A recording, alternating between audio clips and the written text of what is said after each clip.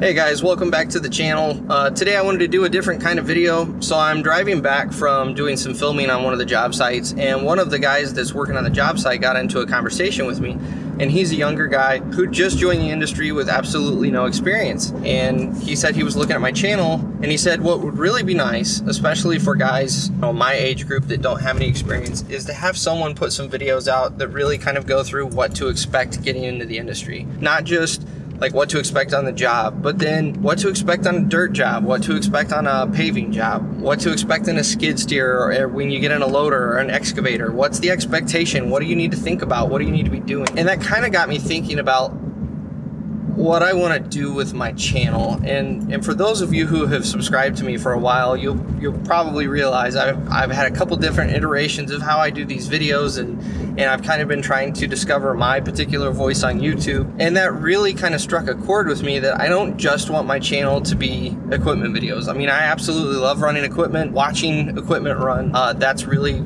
what kind of started me making these videos. But I've also always wanted to teach more and kind of help build excitement for the new generation coming in part of the reason I, I've done this YouTube channel and I've really committed to this YouTube channel. In fact, the reason you see car seats in the back is because we sold my truck so that I could go pursue making YouTube videos about construction equipment. And part of the reason I've wanted to do that is because I don't just enjoy the equipment. Obviously, that's a huge aspect of it. And I think anyone in the dirt industry absolutely realizes that the equipment is a blast. There's no getting around that. It is an absolute blast to be around. It's a blast to run. But deeper than that is I have so much respect for all of the guys in the equipment industry. We commonly get the bad rap that uh, everybody in the dirt industry or any of the skilled trades, honestly, are the guys who couldn't hack it anyplace else. And through my experience being in the industry, that couldn't be further from the truth. In fact, I would say there there absolutely we all know guys that are that way. They they couldn't go anywhere else so they fell into dirt work. But i would say that's by far the minority. I would say the majority of guys that i've known in the excavating industry and i speak to that because that's the trade i was in they're some of the smartest guys i've ever met. I mean they think on a different plane than a lot of other people would. And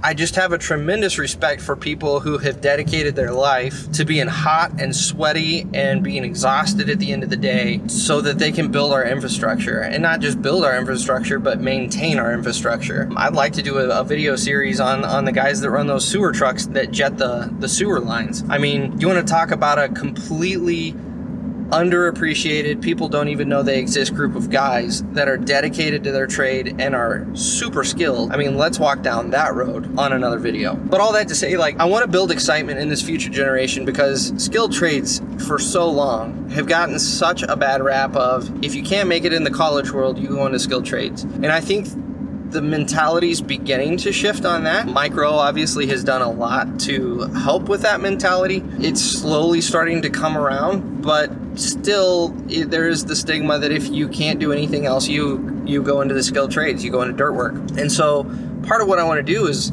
use this channel to build excitement about excavating in particular because that's my trade. That's what I know. That's what I've spent. I've spent, you know, eight years in the industry running the equipment. I spent two years selling the equipment. That's what I know in and out. And I want to build excitement in that area. And one of the ways I can do this is exactly this the way this guy was describing is you know, I would like to start putting out some content on top of the just normal equipment videos. It's kind of a, a down and dirty, here's your basics of what to expect in X scenario.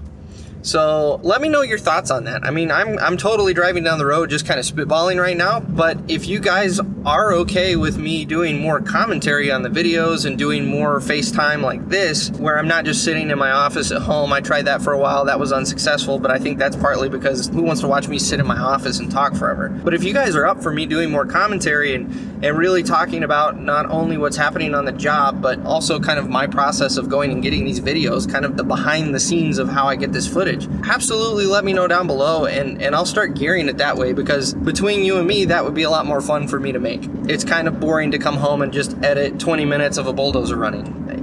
It's, that's not very exciting. There's not much creativity there. But if I can do more of these face-to-face commentary videos, then by all means, I think we're all going to benefit from it. So do me a quick favor. First of all, hit the subscribe button. I'd really appreciate the support. And then secondly, please comment down below. Let me know where you guys want to see this channel go. Let me know if you guys would be open to me doing more of that. And if that is the case, let's go forward together and we'll make it happen. So thanks for watching and we'll see you on the next video.